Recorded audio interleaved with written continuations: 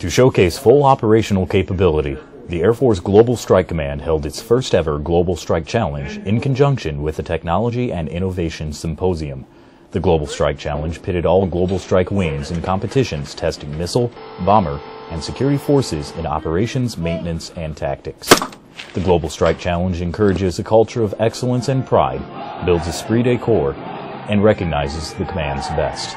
I tell you, when you have competitions like this, the idea is that you create a chance to find the best of the best, and you hone your skills and you get better at what you do. The symposium, co-hosted by the Cyber Innovation Center in Bossier City, Louisiana, helped develop insight into the nuclear deterrence and global strike missions.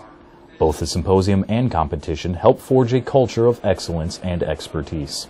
And it's a chance for us to celebrate what we do, and a chance to come and talk and trade ideas and, uh, and renew acquaintances and to build the strength of this entire community. So, I mean, I think that really, it's, it's all about the culture. Around 400 airmen from Global Strike Command's six wings joined reserve and guard units in the competition, as well as B-1 bomber teams from Air Combat Command.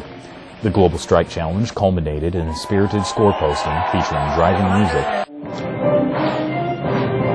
unit pride, Number one, 91st, always first. and awards in 17 categories. The 509th Bomb Wing from Whiteman Air Force Base in Missouri walked away with the most awards and bragging rights until next year's competition.